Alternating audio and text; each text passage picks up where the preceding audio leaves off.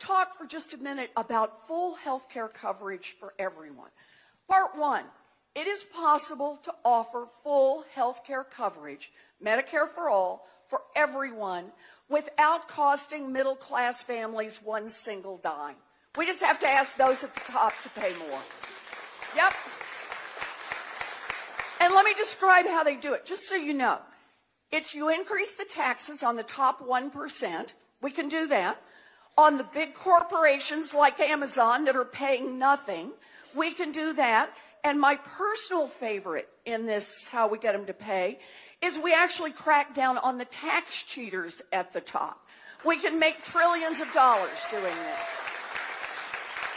We then use that money to